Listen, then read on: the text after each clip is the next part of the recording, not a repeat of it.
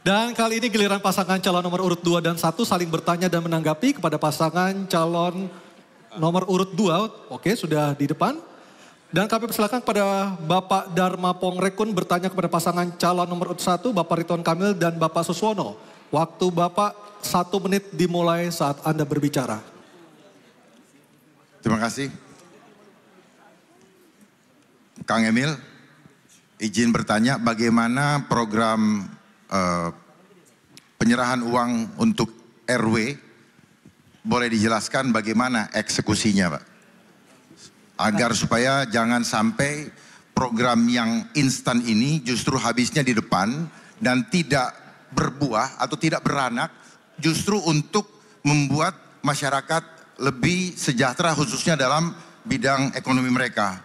Jadi maksud kami adalah apakah tidak lebih baik digunakan untuk membiayai suatu tim yang membina adab mereka sehingga masyarakat di kelurahan, di RT maupun RW bisa membuat mempunyai industri di rumah masing-masing dan akhirnya RT dan RW bisa mendapatkan jauh jauh lebih besar dan bermanfaat.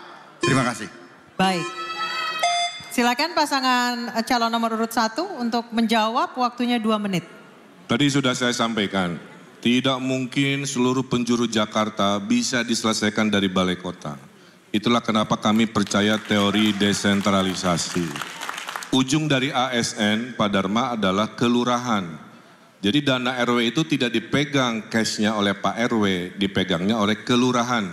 Mereka mengakses dengan proposal. Bayangkan Pak Dharmakun, ada 2.700 rapat RW ada perdebatan dikali 2.700. Ini duit buat apa? Oh ini masih kumuh, silahkan bereskan kekumuhan. Oh ini untuk kebersihan karena masih kotor, silahkan untuk urusan kebersihan. Oh kurang modal si ibu tetangga, silahkan pakai. Oh karang turun tarunanya banyak main di aspal, tidak banyak aktivitas. Gunakan dana RW ini untuk kegiatan karang tarunanya. Genzinya tadi seperti Mas Pram sampaikan untuk IO, silahkan pakai karena kita ada program juga namanya Car Free Night. Sebulan sekali di kecamatan. Beda dengan Car Free Day itu siang hari. Kalau Car Free Night itu malam Senin. Ibu-ibu pameran UMKM, di tengahnya ada panggung. Di situ para anak-anak muda rapat menjadi panitia. Apa yang terjadi? Kebudayaan Betawi dilestarikan di panggung itu. Anak-anak rajin rapat daripada rajin tawuran. Betul? Nah. Oleh karena itu dana ini nanti diatur oleh juklak, oleh gubernur. Mana yang boleh, mana yang tidak boleh. Tidak boleh dananya dipakai ke puncak untuk rapat RW-RW misalkan. Nanti diatur. Karena ini uang rakyat harus maslahat, harus efisien, maka ini yang disebut dengan demokrasi terpimpin. Diberikan demokratisasinya, tapi dipimpin, dipandu oleh gubernurnya di ujung ASN yang namanya kelurahan. Insya Allah dalam lima tahun Jakarta berubah total karena rakyat dipercaya, karena rakyat Jakarta adalah orang yang pintar-pintar. Makasih. Baik, terima kasih. Kami persilakan Bapak Dharma Pengrekun dan Bapak Kunwardana menanggapi jawaban pasangan calon nomor satu, waktunya satu menit. Kang Emil, uh, boleh kami menanyakan mengenai itu kan jumlahnya sama ya, disamakatakan antara RW yang uh, maju uh, tempatnya atau yang uh, banyak warga yang di uh, jadi semuanya tuh sama ya. Padahal kalau kita lihat di Pondok Indah mereka sangat uh, ekonominya tinggi tapi mungkin di Cilincing ekonominya rendah.